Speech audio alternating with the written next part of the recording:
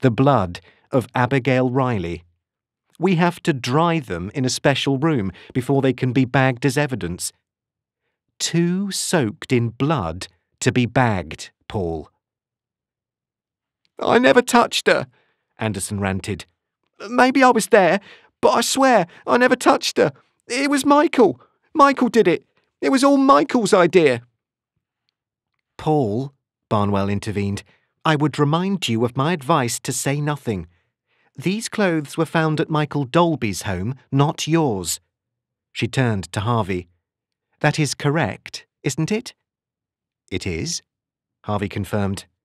And, therefore, they are not connected to my client, she argued. They will be, Harvey assured her. It's only a matter of time before DNA evidence links the clothes to Paul.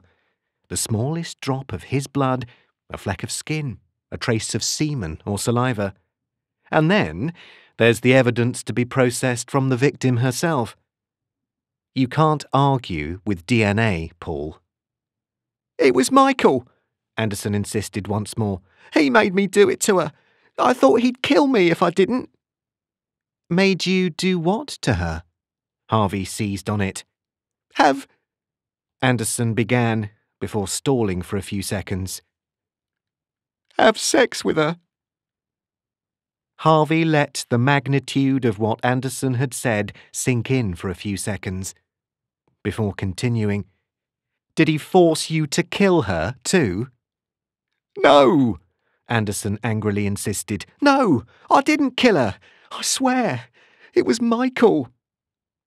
Harvey gave him a few moments to compose himself before tapping the photographs on the table. Which of these clothes are yours? I advise you not to answer that. Barnwell tried to save her client from further self incrimination. We're beyond playing games, Harvey warned her. Now, which of these clothes are yours?